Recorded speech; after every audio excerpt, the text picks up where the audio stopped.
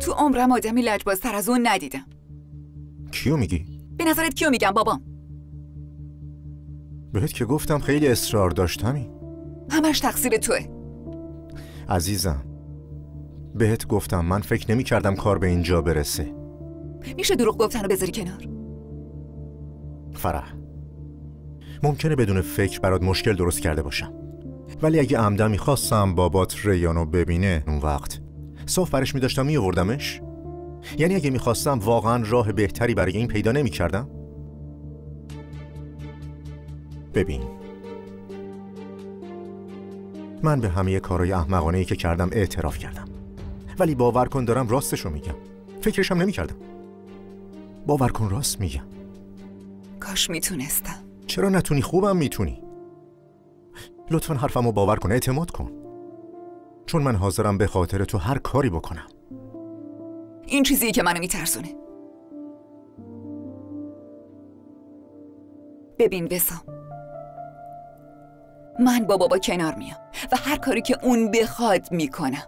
فقط تا حالش خوب بشه. ولی بعدش باهاش میشینم و حرف می‌زنم و قانعش می‌کنم. این ازدواج سر نمی‌گیره. اول حسابی منو کشوندی اینجا که چی؟ آرزومون.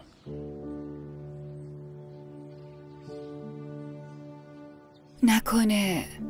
آره. اگه خوشت اومد بخرمش.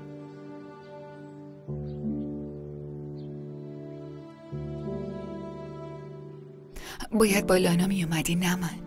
درست نیست. این آرزوی ما بود. من و تو. دیگه چیزی به اسم ما وجود نداره. من قول دادم اولین کسی که هتل رو می‌بینه تو باشی. الانم دارم همون کارو می‌کنم. فقط دارم به قولم عمل می‌کنم. کاش زودتر به قولت عمل می‌کردی. کارمون به اینجا نمی‌رسید.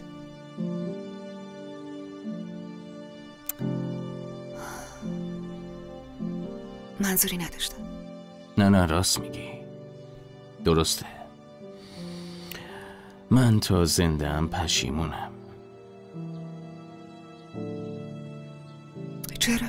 خب چرا زودتر نیومدی و به هم نگفتی؟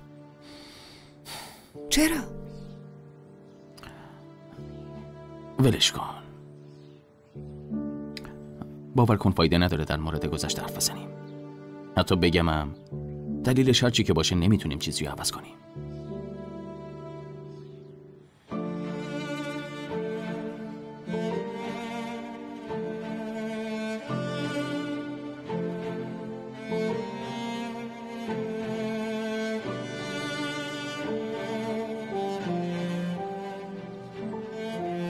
خب راست میگی. منم قراره با وسام ازدواج کنم. قراره با وسام ازدواج کنی؟ بابا اینجوری می‌خواد. تموم شد. یعنی چی بابا اینجوری می‌خواد؟ چون بابا میگه با اون عوضی ازدواج می‌کنی؟ چی بگم؟ چرا با وسام ازدواج نمی‌کنم؟ چه دلیلی براش بیارم؟